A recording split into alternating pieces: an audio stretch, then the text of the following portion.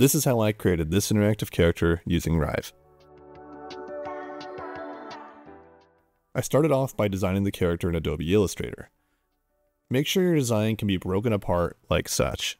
I highly recommend naming your shapes and layers as they will translate into Rive's layer panel. For my character, I want the ears to be able to move, so I will separate them from the head, much like I have with the facial features and the limbs.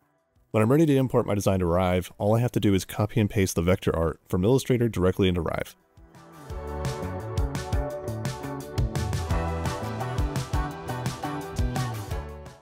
You can see in the hierarchy that it has retained the same layer structure as an Illustrator. There are some layers I want to rearrange, and thankfully, Rive makes that process super easy and intuitive.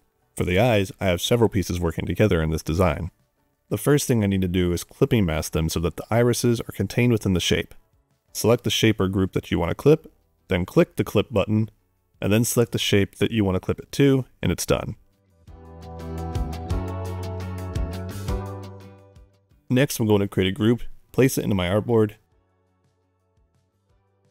and then move it around in the hierarchy near the eye layers. So I'm going to bring all the layers that make up the eyes into the group, and I'm just going to name the group Eyes. I'm also going to create a group for the eyebrows as well.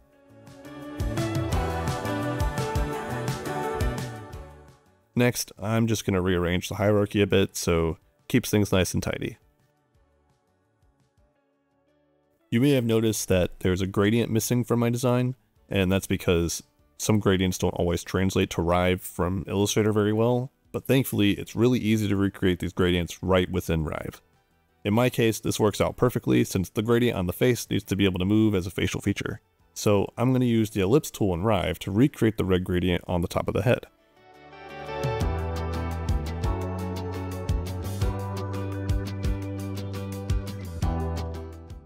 I'll put the ellipse into a group. And I'll call it red.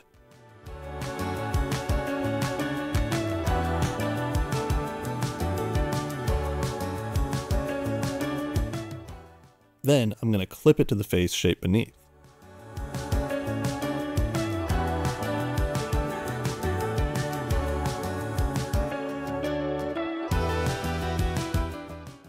Next, I'll add some linear gradients to both the ears as a way to add more dimension.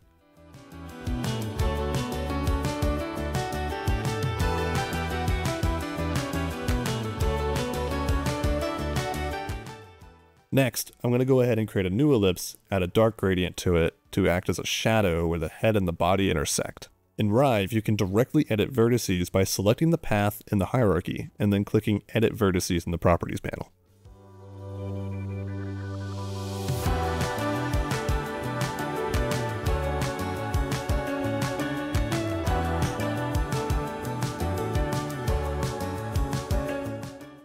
Once I have my shape ready, I'll go ahead and add the gradient fill.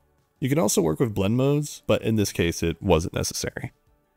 And much like the red gradient that I used, I'm also going to clip this to the head shape.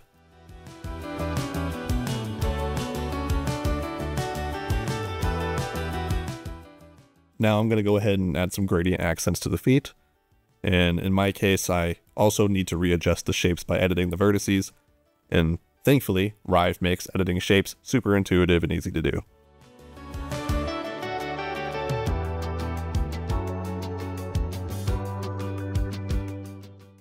At this point, my character is looking a lot more complete. So now let's start making it interactive. I'm going to create a new group layer and call it Track Front.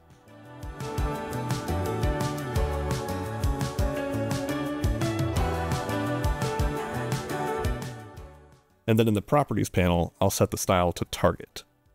I'll duplicate this layer and rename the duplicate to Track Back. This is so that elements in the background will move opposite to those in the foreground. If it doesn't make sense yet, just bear with me because it's all going to come together soon. Next, I want to create a hitbox so that it will detect the movement of my cursor when it enters and exits the frame.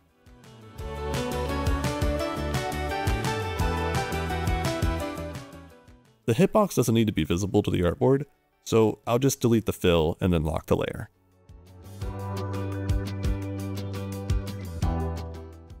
And lastly, before we do anything else, make another target layer and call it cursor. I can now toggle over to the animate screen and start working with the timelines, inputs, listeners, and conditions. I'm going to create a boolean and call it tracking.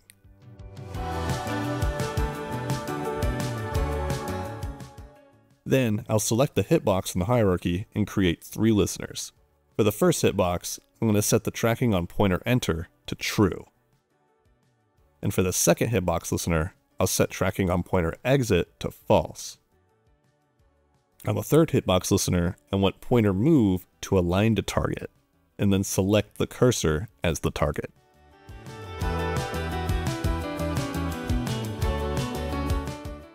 Then we can start adding translation constraints to our front and back targets. For the tracking back target, the strength needs to be negative 100%.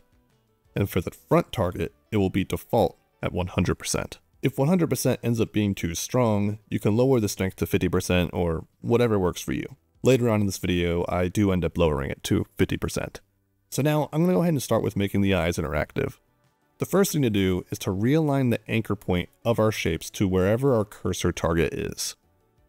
In this case, it should be in the center of the face for our character. This could be done by pressing Y, and then I can go ahead and move the anchor point wherever I wish. I can then add translation constraints to the eyes, so I'll go ahead and set the constraint target to track front, and I'll set the strength to 35%.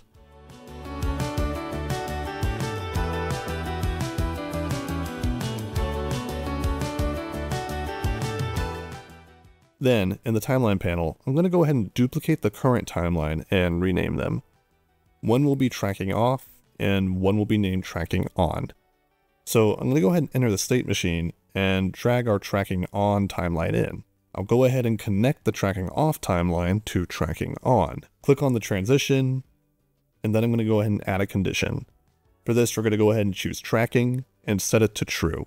Then I'm going to go ahead and drag a connection from tracking on to tracking off.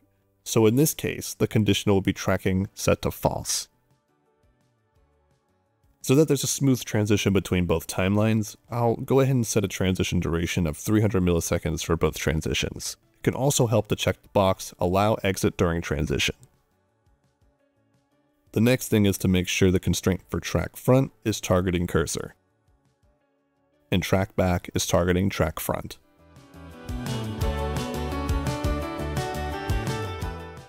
I'm also changing the strength to 50% like I said before.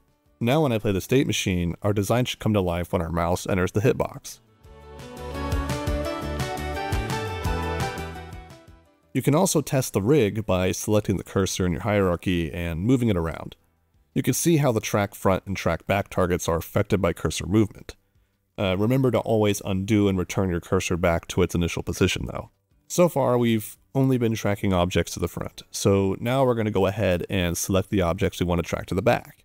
In this case, the head and everything that sits behind the face is going to be on track back.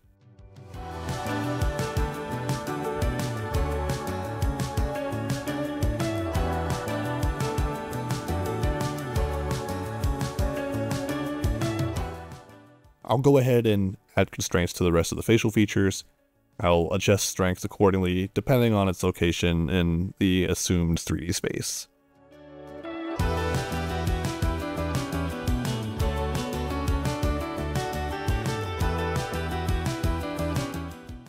It makes more sense for the nose and the mouth to move more than the rest of the face, so that will get a higher strength than the rest.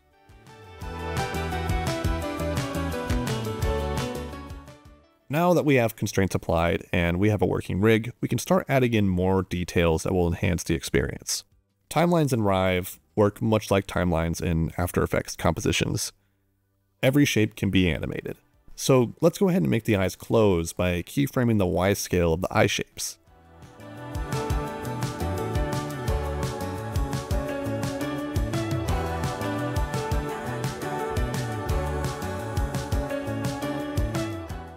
there is also the ability to ease keyframes using keyframe interpolation curves.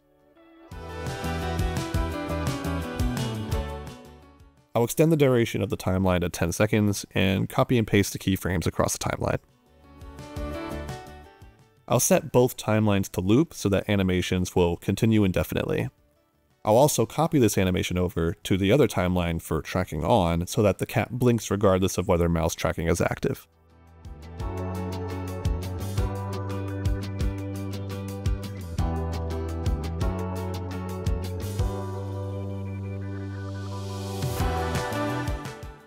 You can also layer animations and have multiple timelines active at one time.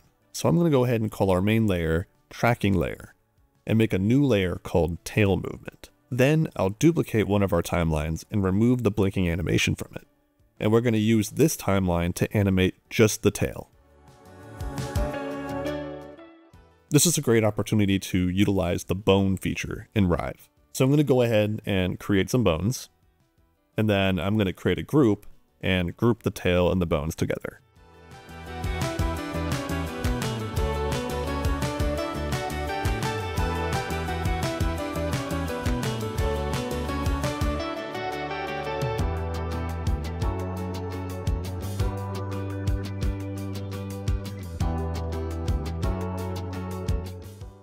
With the path of the tail selected, I can click Bind Bones and select the bones we want to attach to the tail shape.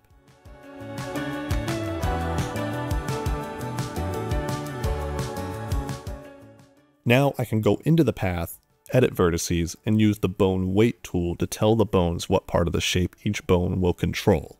In this case, there are three bones along the tail indicated by three colors. I want the root bone in blue to only control the base of the tail, and bone 1, which is in yellow, to only control the middle, and then bone 2, which is purple, to only control the end of the tail. This can be done by selecting the vertices and their handles and adjusting the bone strength percentages. So essentially, each bone will control 100% of their respective areas that I designate.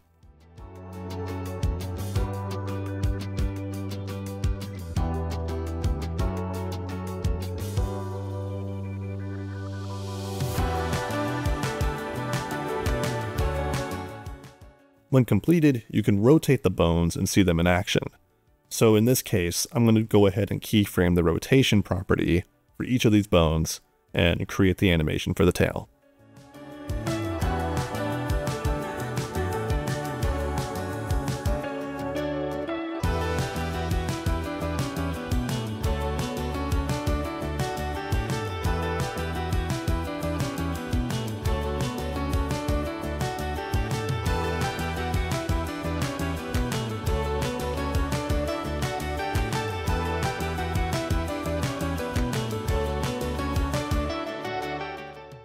And just like that, we have an animated tail that loops perfectly.